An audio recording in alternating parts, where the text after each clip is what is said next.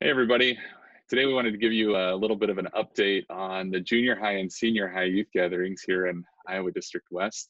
Uh, I'm Pastor Tom Schlund. I'm the Dean of the Junior High Youth Gathering and here with uh, Pastor, Chris Nitzel. Pastor Chris Nitzel, uh, Dean of the Senior Gathering. We should almost have a, a, stick or something as far as like changing for talking as we do right. this through Zoom. Right. Figuring out the Zoom uh, way of recording a video, but uh, glad to be here together this today to give you a little bit of an update on how uh, the gatherings are going to run this fall. Uh, Pastor Nitzel, things have uh, changed a little bit in our world here recently, right?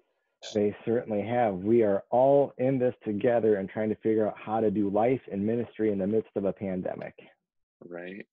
And we wanted to um, be creative here with the junior high and senior high gathering. We knew um, it probably wouldn't be best to all come together this fall um, just to make sure that we were able to to be safe. And you know depending on where you're at in the state you have different kind of concerns with this. And um, i know from the junior high gathering team we're also concerned financially for people. You know if you've struggled with losing a job or you know your church is kind of going through a tough time we didn't want to add this financial burden on there. So uh, we have been creative, I think, and have two great opportunities, both for the junior high and senior high gatherings, um, to bring you God's word and give you a fun time with your youth group, uh, but in a way that you can stay at church, or if you're not even able to come together at church, uh, that your youth are going to be able to use uh, at home. So.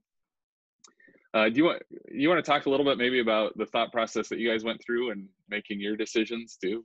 Yeah, absolutely. For us, uh, the the senior gathering committee wrestled with uh, how could we potentially put on uh, our gathering with all the aspects that we love to do so much with uh, nightlife, uh, sectionals, and we just couldn't come up with a way without knowing what things are going to look like. And so we didn't want to leave you guys without a ministry tool to continue to do ministry in the pandemic. And so uh, we're creating an event for you that you could, hey, you want to say hi to everybody, Caleb, quick? Hmm. say hi, wave. Hi. yeah. We wanted to give everybody a ministry tool so that you could still be doing ministry together. And so we're creating an event that you can determine uh, how you use it uh, based off of what is going on in your area um, with uh, the, the pandemic. And so uh, it, it, will be a, a tool that you can use for either in person or in your home based off of what you decide. And it's going to be a, a pared down gathering, one night event that you could join us live. It's still going to be the, the same Friday night. We were supposed to be Friday, November 20th, um, or you can go back and rewatch it or redo it at other times. The key things that we're going to be having included are our main speaker, Shelly Schwalm. We're going to have some time with Tanner Olson. We'll have music with Isaac from Camp Okoboji. And uh, just to give you an idea of what that will look like, uh, Pastor Tom is going to put up on the screen uh, what our events are, are planning to look like. And we're going to have everything for you. We'll have the opening devotion, we'll have game ideas, we'll have then that streaming time together, and then we'll have stuff to close out the night. And so uh, it'll be up for you guys to determine is it safe for you to maybe gather as a circuit at one place to do something? Or is it just for your own youth group? Um, that'll be up to you guys, but we're excited to, to be with you in that way this year. We'll also have prizes and things for you that we'll be able to hand out. And it, there will be minimal cost to you in this. The only cost that might potentially be there would be uh, if you're able and want to order t-shirts. So Pastor Tom, tell us a little bit about the junior gathering. Yeah, for sure. Um, I think I shared the wrong screen at first, but now hopefully you can see the the right one with your your schedule up there, right? Yep. Yep, awesome. So uh, we're kind of in the same boat uh, as as Chris you were talking about, uh, wanting to provide a good ministry opportunity for you with your your junior high students too. Um, we are going to be on that same uh, Saturday night, October the seventeenth, that uh, we had originally planned on. Um, but the nice thing about technology, like Chris mentioned, is that uh, you can do this on a different night too, once it's been streamed and recorded. And so uh, we're going to provide uh, a neat opportunity to gather together. Uh, we're taking a little bit of a step out. You know, at the junior high youth gathering, we typically run through the the six chief parts of the Catechism. And so this year we are supposed to be looking at the Ten Commandments. We're going to be pushing that theme off to next year, and we're going to be uh, taking a look at identity um, and talking really about the question, "Who am I?" Uh, just because with all of the things that are going on uh, with the pandemic and everything, it really can kind of make us wonder and and ask that question and figure out you know our identities have been tied up in all of these activities that we've been doing that are now canceled or postponed and so um, we really want to be able to talk about that um, let me put our schedule up here too uh, we're going to be using uh, Sven and Sven and Dean are going to be able to to join with us again, uh, which we're excited about. Uh, we'll have the opportunity for uh, music. We're going to have an opportunity to talk more about this idea of who am I, um, and then we'll have some other activities that you'll be able to do together as a group.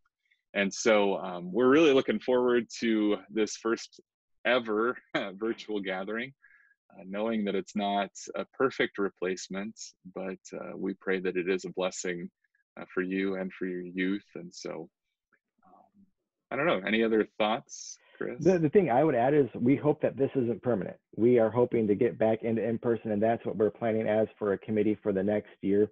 Um, last year, we had put in place where 2021 was going to be our off year but we're going to do an in-person gathering in 2021. We'll have the national gathering in 2022, and they're still planning full speed ahead as well. And then we'll have a gathering in 2023. And as long as things uh, continue to go in the right direction, getting through the pandemic, we can then switch back to that other schedule. So uh, just a heads up for you ministry leaders as well, that as you're planning, thinking about fundraising, stuff like that, there will be in person 2021. You got national in 2022, and then in person again in 2023. Yep. And we're in that same boat of going back to live and in person stuff in the future.